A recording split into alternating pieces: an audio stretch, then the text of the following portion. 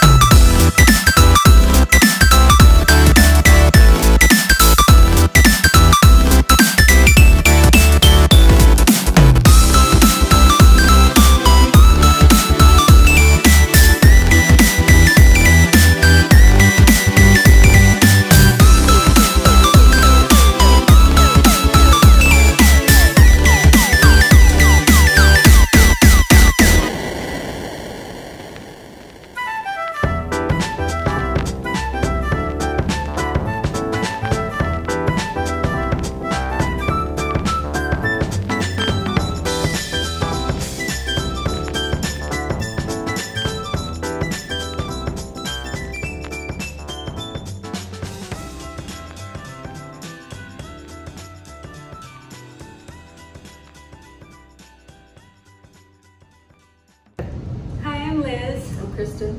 And uh, this is Bailey. Uh, we brought her here to Bulletproof Training for the border training program. Um, at first, Bailey wouldn't listen to us, um, but now that um, Ashley has been working with her, she's much better. As you can see, she's being a little cute angel here. Um, but uh, Ashley has um, definitely helped us um, making sure that we know our we follow through, and it's been really great. Um, this experience has been really great.